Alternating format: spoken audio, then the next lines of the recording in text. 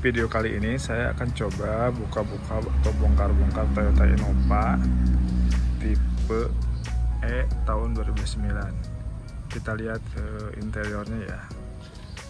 Ini sebetulnya kalau dari originalnya sudah tidak pakai topi belakang ya. Cuman ini di dikasih tambahan aksesoris biar kelihatan keren. Juga tidak dikasih wiper belakang karena ini tipe yang paling rendah atau E. Ada yang tipe yang paling rendah banget yaitu tipe J kalau nggak salah. Sekarang kita coba buka uh, interiornya ya. Masuk ke interior.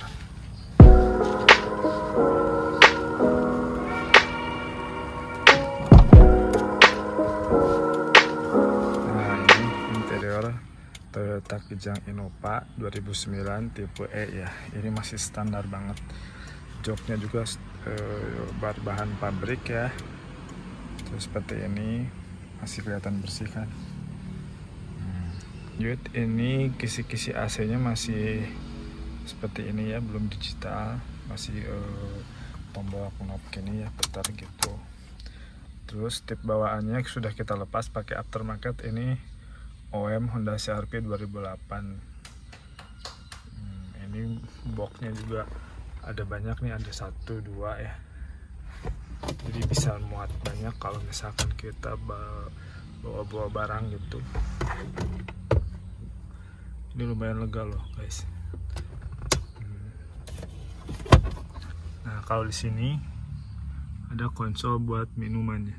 Sama seperti pada mobil pada umumnya ya. Juga bisa buat naruh botol minuman atau apa yang kayak korek api kunci atau apa. Nah ini konsol boxnya juga luas banget. Saya bisa naruh tisu basah kacamata atau apa.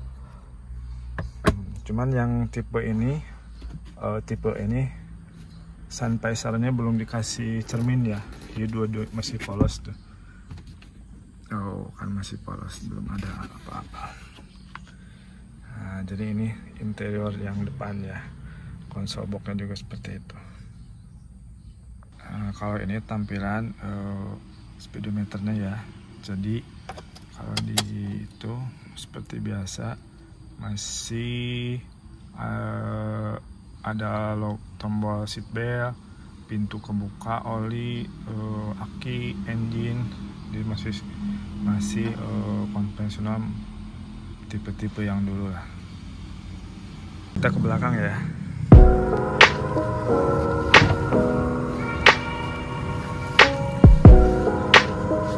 nah ini tampilannya seperti ini ya. Joknya jok masih jok pabrik. Kebetulan ini karpetnya sedang dicuci jadi belum kita pasang. Di sini ada uh, tempat charger HP ya atau lighter sini lanjut ke sini juga ada buat naruh minuman konsol ya buat naruh koin di sini juga bisa nih Nah, kalau AC-nya di atas sudah dua ya double blower ya. Ke belakang ya. Ini jok baris ketiga ini cuma lumayan loh. Uh, lega. Jadi bisa muat anak kecil tiga lah. Buka ke bagasi ya.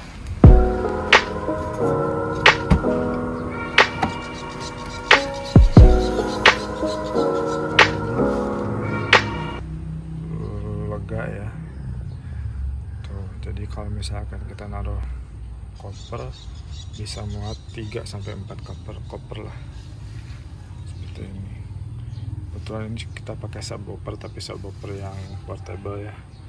Masih kita bisa apa pindah-pindah atau misalkan kalau bawa barang banyak kita lepas dulu juga bisa. Nah ini jok belakang itu kita gantung ke atas ya ke holder.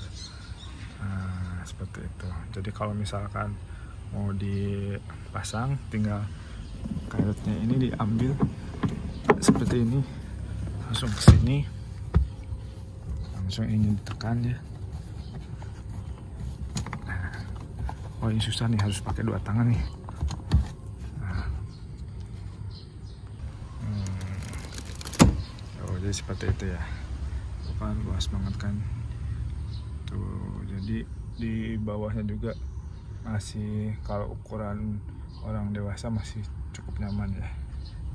Seperti itu untuk kaca film kita bedakan ya. Untuk belakang kita pakai 80% hitam dari solar guard. Kalau yang jendela samping depan kita 40% ya. Jadi masih kelihatan terang kalau misalkan malam ataupun di cuaca ekstrim kita masih leluasa. Jadi ini masih lumayan bersih ya Innova 2009 walaupun sudah tua tapi kalau kita rawat masih bagus banget. Ini konsol AC juga masih bagus berfungsi. Seperti itu. Ke sektor kaki-kaki ya. Kalau originalnya ini pakai ring 14 ya pel kaleng. Cuman karena kekecilan uh, saya upgrade ke ini original Daihatsu Luxio. Nah kita pakai ban uh, semi pacul ya. Ukuran 215 70 ring 15 ini harga bannya sekitar 1 juta satu pieces ya. Terus uh, konsol dopnya center dopnya kita pakai custom aftermarket ya. Banyak dijual di uh, online ya untuk menambah kesan gagah ya kita pakai pasang antena rigid ya. Nah ini murah loh cuma sekitar ya 300.000 sudah dapat antena rigid seperti ini. Sudah bagus tuh tinggal pasang aja. E, bagusnya sebelah kiri atau sebelah kanan. Tapi kalau saya sih sukanya sebelah kiri ya. Ini yang ukuran 1 meter guys. Jadi agak tinggi ya Oke, kita lihat uh, sektor uh, mesin ya. Untuk sektor mesin, kita masih mengandalkan mesin standar ya. Tidak pernah diotak-atik karena ini mobil harian. Uh, kita coba otak-atik di sektor pengedit ini sensor air filter ya. Kita seperti di video sebelumnya boleh dicek ya kita biar Innovanya tambah irit tapi tenaganya nggak nggak nggak apa nggak nggak lemah.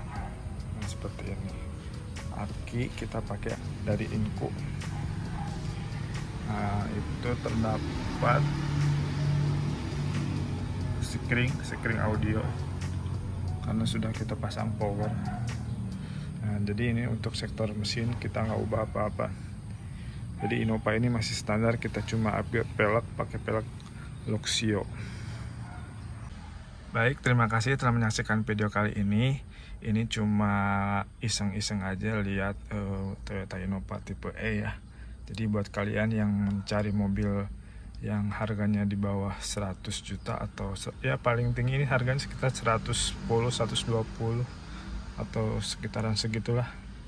Tapi ini masih enak banget kok dibawa menjelajah piknik keperluan keluarga dengan banyak orang. Karena tipikal orang Indonesia itu kita harus muat banyak orang. Bawa pembantu bawa anak bawa mertua. Ini cukup banget nih.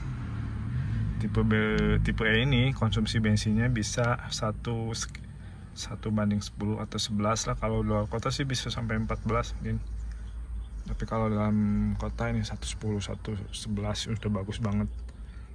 Lumayan irit ya untuk ukuran mesin 2000 cc ini. Nah, oke okay, sampai jumpa di video selanjutnya. Terima kasih telah menyaksikan video kali ini. Uh, jangan lupa like subscribe dan komen. Terima kasih. Assalamualaikum warahmatullahi wabarakatuh